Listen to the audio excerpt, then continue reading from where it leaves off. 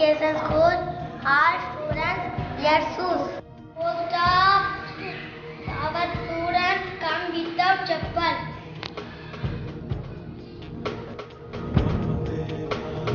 Many students are who answered my shop